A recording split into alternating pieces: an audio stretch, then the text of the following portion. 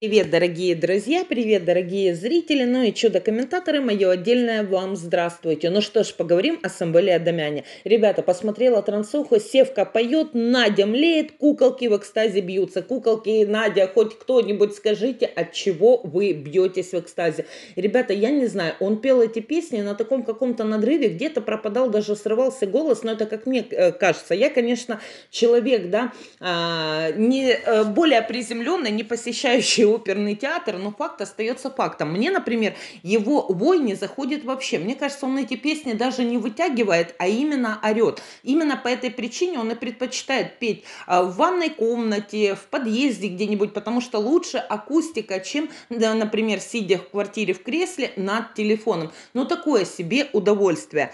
Но э, Надя млеет, потому что Севка обозначил, концерт посвящен именно ей. Вы представьте Надина состояние. Она там просто потекла. Ведь ощутить себя на данный момент э, музой Самвела Адамяна действительно не каждому дано.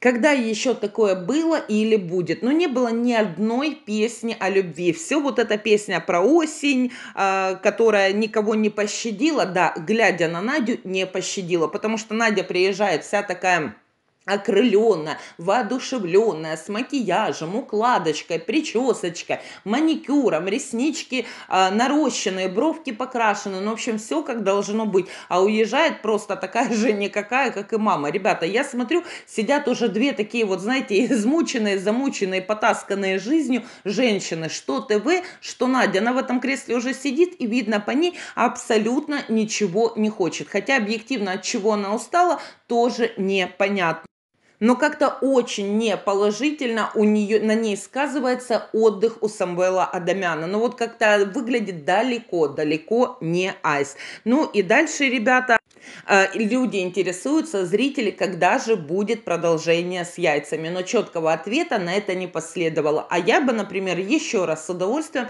посмотрела на это зрелище. И даже Коки обнаружился в чате, который готов прислать 50 долларов, чтобы Надю еще раз шарахнули яйца лицом по башке. Вот это вот действительно, друзья. И, кстати, удивительно, вот такая вот э, высоконравственная, высокоморальная Юля, вот такая вот правильная по жизни, вот такой вот Коки, да, такой заботливый, добрый, мимимишный паренек. Почему же никто не сделал Севке а, замечание, что это было ужасно, это было дико и аморально? Точно так же, как и Ира, такая вот вся правильная по жизни мать и жена. Никто Севку даже не попытался поставить на место. Ну а с другой стороны, принцип принципе, а зачем это делать? Ведь это решение было Наде. Позволить собой такое проделать. Поэтому чего кто-то должен за нее заступаться и тянуть мазу и рассказывать, а, что это неприлично и так быть не должно.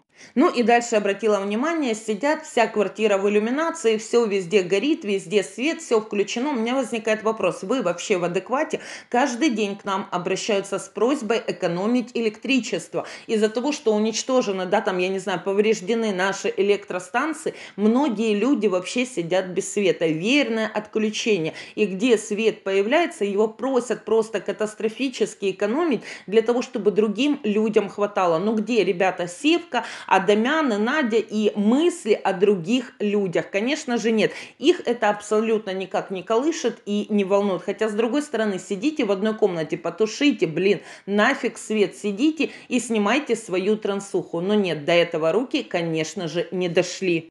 Точно, э, кстати, так же, как и изготовление, выпекание вот это постоянное пирожков. Да, я знаю, девочки, мне писали, что у него электродуховка, но у него не, э, не, вернее, писали, что газовая духовка, но у него не газовая духовка, это электроплита. Я сколько раз специально обращала внимание, у него электродуховка. Э, у него верхняя варочная поверхность газовая, а низ электро. И таких моделей у нас, в принципе, практически в каждой квартире именно такие модели и стоят. Люди редко берут газовые духовки, а у него стопудово это электроплита. Ну, по крайней мере, как я это сумела рассмотреть. Поэтому и здесь электричество тоже нормально потянуло. Ну и дальше, конечно же, восторг от маминого сахара. А как оказалось, Наде даже позвонила ее кума-диабетчица и интересовалась, как же и чем питается ТВ, что у нее такой низкий сахар. Ребята, я вообще в шорохе, то есть какие последствия это все может иметь, потому что люди, которые разуверились, да, э, как бы в медицине видят, что как бы не очень помогает, либо приходится постоянно и жестко себя ограничивать, могут действительно насмотреться на такого, как Севка мама, и начать делать эксперименты над собой в надежде понизить сахар. И это ужасно, потому что как минимум такие моменты транслировать все-таки нельзя. А если и э, проводить такие эксперименты, то изначально обозначать людям, что не стоит это повторять, опасно для жизни. Ведь никто на самом деле не знает, какие последствия для мамы вот эта вот кето-диета будет иметь в дальнейшем. А видя ее состояние, оно у нее далеко-далеко не айс. Ну и дальше полетели вопросы, кто же для Севки на самом деле такая Надя. И здесь, ребята, пришло Наде на время э, действительно удивляться. Севка сказал, что она его крестная зрительница, но Надя была в восторге от этих слов. То есть человек дал понять, что это, да, вот так вот не пришей к женскому половому органу рукав, но вот такая вот кто-то рядом проходящая, которая себя навязала, готова участвовать в моем цирке, в моей клоунаде, выполнять все, как, я не знаю, какая-то цирковая собачка собачка, обезьянка, любую мою прихоть и команду, и мне за это ничего не будет. Но самое главное, Надя не услышала зрительница, а, конечно, услышала крестная. Ах, как эти слова греют ее израненную душу. Наконец-то дождалась она признания, ведь сколько раз она топила за то, что она Севке крестная. Ну и дальше полетели комментарии по поводу того, что Надя э, для Севки лучшая мать, чем ТВ. Вот прям мама, мамочка. Ребята, я большего бреда на самом деле не слышала. Но по большому счету, кто может заменить родную мать? А в случае Севка ему вообще ни родная мать не нужна, ни Надя. Ему нужен исключительно контент. И все, что делается, делается исключительно для того, чтобы на этом заработать. Поэтому, в принципе, Севки фиолетово. Надя это будет, мама это будет, или любой тут кто готов будет занять эту мышу, э, нишу и позволять себя вот так вот унижать. Но здесь, конечно, мама на э, нутро сколыхала, и даже сама Надя решила польстить маме и рассказать, что маму родную никто, конечно же, не заменит. Хотя Надя спит и видит занять мамкино место. Но и здесь ерепенилась мама, которая рассказала, что ее, конечно же, никто не заменит. Нет, мама, вас никто не заменит. Надя, если займет ваше место, она пробьет дно, дно еще ниже, чем вы. Почему? Потому что человек уже на это готов. И яйца были тому подтверждение.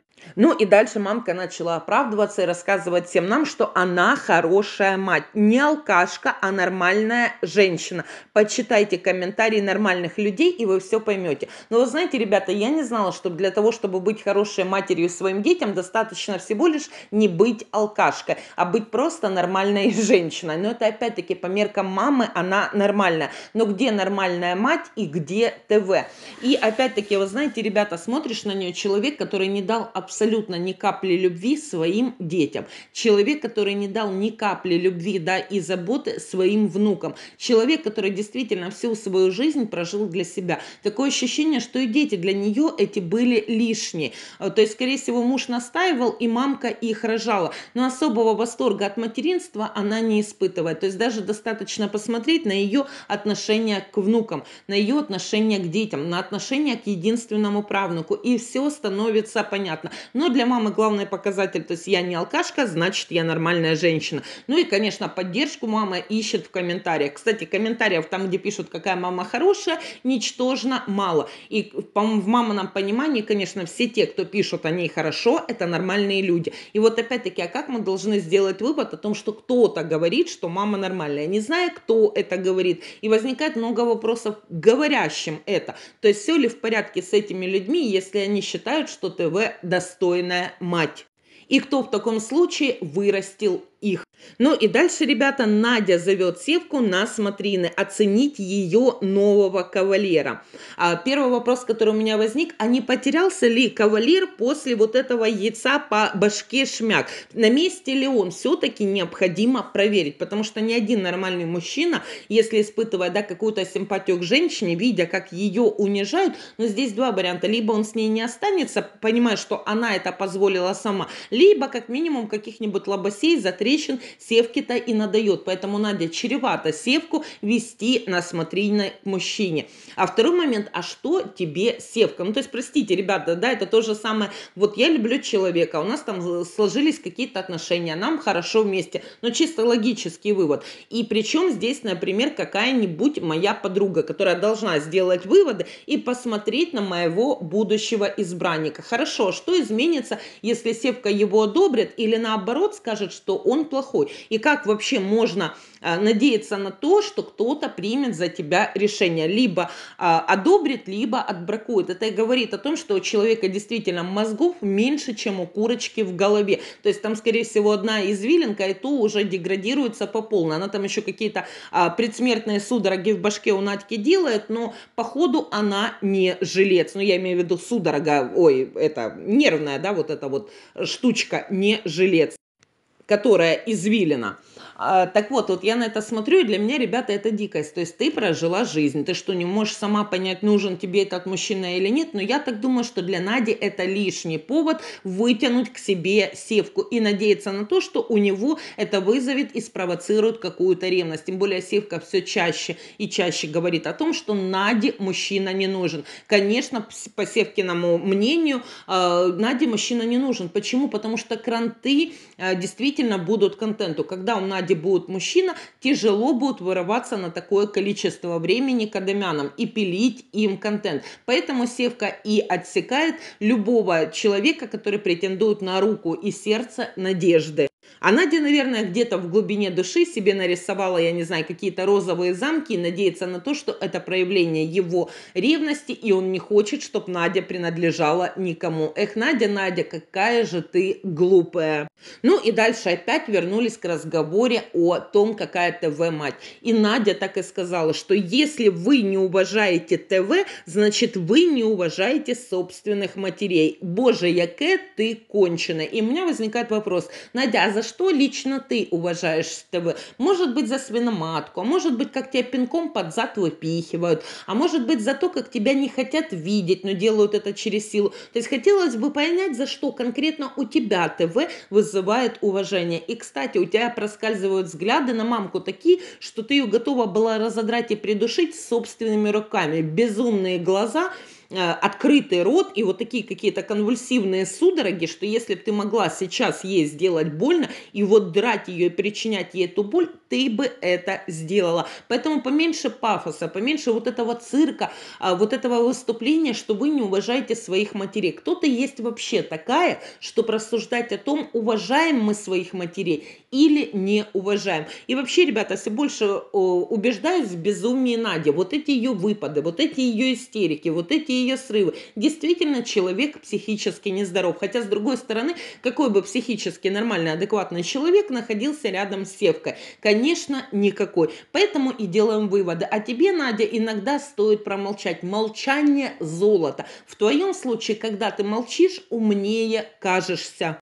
Ну и дальше, ребята, мамка расстроена. Никто больше распродажные лоты не покупает. Но здесь нашлись зрители, которые просят распродажу на мамину вот эту бижутерию мамины бусы. Мама сразу воспряла и кричит Севке, распродавай все и делай конкретные э, скидки. Ну и опять пошла э, реклама собственных труселей, которые с Америки мамке прислали. Никто почему-то эти труселя до сих пор не приобрел. И мамки рекомендуют подарить их Коке. Мамка тут же объяснила, что зачем они ему, они же э, женские, они на такую небольшую, как она. Мне интересно, мама, а что вы лично видите у Коки мужского? Ну вот кроме его, да, интимного причинного места, что вы увидели в Коке мужское? Очень хотелось бы, чтобы вы нам это озвучили. Ну и дальше опять-таки подняли тему мамкиной личной жизни, что никто мамку по количеству мужиков не перещеголял. Но мамка тут же а, вспомнила, кто ее перещеголял, и сразу привела пример Аллы Пугачевой. Мама, к чему такой съезд? Мы же не спрашиваем за Аллу Пугачеву. Тем более за Аллу Пугачеву и ее в прошлом, да, там бурную личную жизнь знают многие. Но ни на кого она особо-то и не повлияла. Ее личная жизнь. Но вы-то, вы-то зачем трогаете Пугачеву? Вы расскажите нам о себе, ведь задали вопрос напрямую именно касающийся вашей личной жизни. Ну и дальше затронули тему, конечно же, кукурузы. Здесь Надя, ребята, стала на амбразуру, полной своей грудью кинулась на защиту мамы. У каждого у нас была своя кукуруза, и у меня тоже. Ну, Надя, если у тебя была кукуруза, я тебя с этим и поздравляю. И далеко не у каждой из нас была эта самая кукуруза. Многие женщины предпочитают не в кукурузных полях заниматься сексом, любовью, а все-таки в какой-то, ну, интересной, достойной обстановке. Поэтому не суди всех по себе и, конечно же, по мамке. Но, ребята, мама поставила точку в теме с кукурузой и рассказала всем нам, что она в кукурузе просто сидела, потому что э, на улице было лето, была жара, а в кукурузе было хорошо и прохладненько. И вот думаю, блин, вот это реально спасение. Почему другие сельские, деревенские люди до этого не дошли и не додумались? Почему они летом не сидят все в кукурузных полях и не охлаждают рождаются там. Кстати, ребята, представила картину, да, вот тебе стало прохладно, и ты взяла какого-нибудь мужика за руку и говоришь, слушай, а тут так жарко, пошли с тобой в кукурузу, вот там и поговорим, потому что там прохладненько. И я так понимаю, что именно так это все в кукурузе и происходило. Ну и дальше Севка рассказал всем нам, что все-таки все, что он покупал для госпиталя, муку там какую-то начинку и так далее, для вот этих пирожков, он покупал за собственный счет. А вот эти 100 долларов перевел Юле на лекарства. Опять-таки в тот же самый госпиталь, в общем, кому-то на лекарства. Ребята, ну а, было бы как-то удивительно, если бы это было по-другому. Хотя ранее он сказал Наде отнять 300 гривен за муку и продукты, которые купил для госпиталя. Почему? Потому что, простите, ты на этом контенте заработал бабок. И заработал ни хреново. И ты вот эти 300 гривен окупил, я не знаю, не то чтобы 10 раз, 100 раз ты окупил вот эти вот пирожки. Поэтому это вообще как-то даже, я не знаю, поднимать эту тему, да, за свои ты купил, не за свои, даже по меньшей мере как-то противно. Тем более для блогера с, с таким количеством подписчиков и называть такие ничтожно маленькие суммы. Ну и дальше Севка, конечно же, затронул тему Марины. Это вот такой нежданчик, такой ляпас конкретный в сторону Надьки. Он хвалит ее за острый ум, и таких еще нужно поискать. Ну и Надя, ребята, и плавненько в этот момент переводит э, камеру на Надю. И здесь Надю понесло. Надя прямо в коматозе в каком-то в этот момент находилась. И тут же вспомнила опять этот злополучный Новый год. И как Марина довела Севку до белого коленя. И Севка чуть не разбил телефон. Надя, уймись ты с этим телефоном. Разбил бы, пошел, купил новый. Я тебе, Надя, открою маленький секрет. Блогеры, э, которые постоянно снимают и монтируют ролики, вообще, в принципе, каждые полгода, там, каждые 8 месяцев меняют телефоны. Ну, потому что убиваются они. Поэтому разбил, подорвал булки и купил новый. И когда нечем Наде крыть, она все время вспоминает этот Новый год. А почему вспоминать? Потому что там Надьку умыли, так умыли мыли, просто конкретно давали леща за лещом, за трещину за затрещиной. А Надя только вот такие какие-то там судороги делала, билась в судорогах и пыталась дать какую-то ответку, но ответки дать так и не смогла. И опять-таки представьте, каково ей слышать вот эти вот таланты Марины, которые замечает Севка в ней. А у Надьки всего лишь один талант – это только тесто-мес. Ну и дальше Севка задает интересные вопросы э, Наде, кто же у нее был первым и с кем первым она поцеловалась. Ребята, для меня вообще дикость, когда мужчина спрашивает подобные э, вещи у женщины, которая не является, да, например, ее, э, ее спутником жизни. То есть это партнер может спросить, там, муж, жених, неважно, кто у тебя был первым и, с кем первым ты поцеловалась. И то даже нормальный мужчина не будет в это лезть и этим интересоваться. Но здесь, когда у тебя спрашивает мужик, think тем более спрашивают еще и публично под запись, меня это действительно ошарашило. Я думаю, ну здесь Надя должна сказать, ты что, конченый, да? Что ты спрашиваешь? Ну, не в случае с Надей. Она дала четкий, исчерпывающий ответ Севке, кто был первый и с кем с первым она поцеловалась. Оказывается, это один и тот же мужчина. Севка его не знает, но Надя много о нем рассказывает. Почему рассказывает, по мнению Севки? Потому что до сих пор Надю не отпустила. Но Надя утверждает, что все-таки ее от этого мужчины уже отпустила. Здесь неважно, отпустила, не отпустила. Ребята, представьте, неуважение. Мало того, что к женщине, еще и к возрастной женщине задавать такие вопросы. Но Надя для того, чтобы быть Севке интересной, не останавливается ни перед чем. Что бы Севка не спросил, она готова давать четкий, исчерпывающий ответ, чтобы его удовлетворить. Тем более после того, как Севка сказал за Маринин ум. Вот здесь Надина самолюбие взыграла, и она готова делать что угодно, лишь бы удовлетворить Севку. И ее он тоже похвалил. Ну и дальше момент, ребята, который меня очень развеселил. Севка поет о страсти, а Надя в этот момент яблоко грызет. Причем так вот уверенно, уверенно его подгрызает. Вот это и проявление уважения к своему любимому Самвелке. Почему? Потому что когда все-таки ты слушаешь творчество, да, чье-то, чье-то выступление, нормальный человек в этот момент не то, чтобы ничего не жрет, а просто даже, да, понимает, что человек сейчас там а, выкладывается на полную катушку, нужно вести себя все-таки как-то прилично конечно. После, конечно, укора Севки Надя отложила и бросила пожирание своего яблока. И как вы думаете, куда бросила? Конечно, к ТВ на постельку. Ну, ребята, вот такой обзор получился. Продолжение, конечно, следует. А пока со всеми прощаюсь. До новых встреч!